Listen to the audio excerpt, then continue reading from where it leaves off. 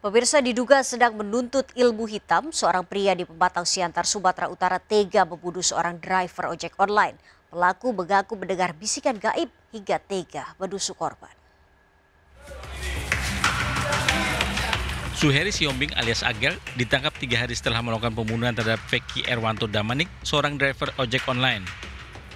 Pembunuhan terjadi Sabtu dini hari, saat itu korban yang sedang berada di warung di Jalan Cokro Aminoto bersama temannya tiba-tiba ditusuk oleh pelaku yang berada di depannya.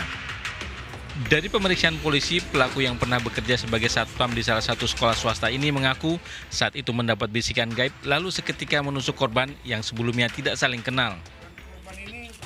Keterangan dari pelaku, korban membilangkan bahwa mematikan mata pencarian dari pelaku ini sehingga secara tiba-tiba pelaku tersinggung langsung melakukan penikaman tersebut kepada korban. Petugas masih melakukan pemeriksaan intensif termasuk memeriksa kejiwaan pelaku. Pelaku terancam pidana pasal 338 atau 351 ayat 3 dengan ancaman hukuman 15 tahun penjara. Sementara barang bukti berupa pisau belati dan balutan kain putih, jaket serta sepeda motor pelaku diamankan sebagai barang bukti.